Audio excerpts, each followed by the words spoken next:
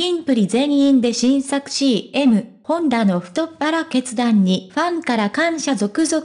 生放送番組出演などジャニーにも変化。ご視聴ありがとうございました。素早く最新情報をもらえるようにチャンネル登録ボタンをよろしくお願いいたします。ありがとうございます。12月13日から自動車メーカー、ホンダ技研工業、ホンダの新たな企業 CM が公開された。ホンダハートと題したプロジェクトを2021年11月から行っているホンダだが、当初からそのメッセンジャーを務めているのがアイドルグループ、キングピンス、キンプリだ。キンプリは11月5日平野志陽さん岸優太さん神宮寺優太さんの3人の脱退とジャニーズ事務所退社が突如発表されました。岸さんの退社時期は2023年秋とされていますが、他の2人は2023年5月いっぱいで退社し、5人での活動もそこで終了すると発表されています。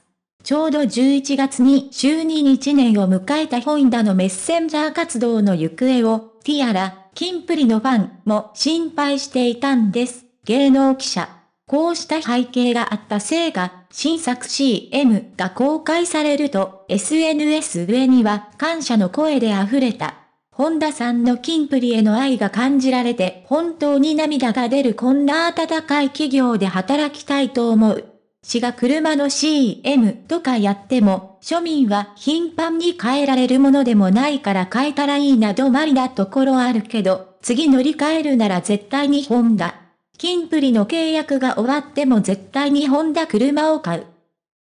本当にホンダがこんなことするの珍しい。他メーカーと比べて今まで CM にビッグネームをあまり起用してこなかった印象。それなのに今回金プリを抜擢してくれて愛を持って大事に扱ってくれる。感謝しかありません。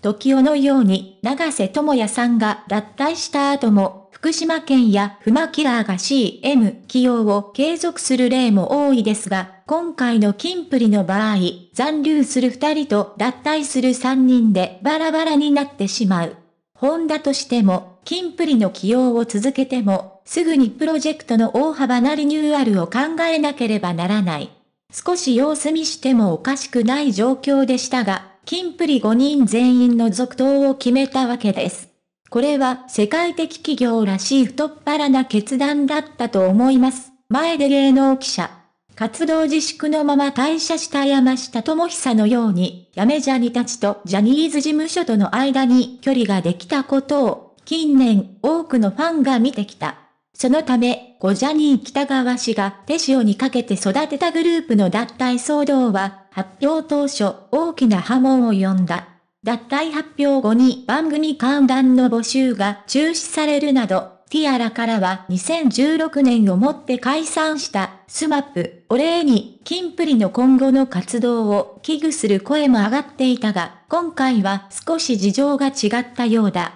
スマップは解散発表後、生放送の音楽特番への出演がなく、期待された NHK 紅白歌合戦も辞退しました。ティアラの間でも、もう生放送などで5人を見られないのでは、と不安を抱いている人も多かったのですが、キンプリは脱退発表後に、紅白の5年連続出場が決定。FNS 歌謡祭、フジテレビ系などにも出演しています。もう、スマップ解散時のように、ジャニーズ事務所も画一的な対応をすることは難しくなっているのでしょう。前出芸能記者。脱退発表後キンプリ史上初めてシングルがミリオンヒットを。ティアラたちの熱いハートが周囲を動かし始めているのかもしれない。スマートフラッシュ。平野紫耀さんプロフィール1997年1月29日生まれ、愛知県出身。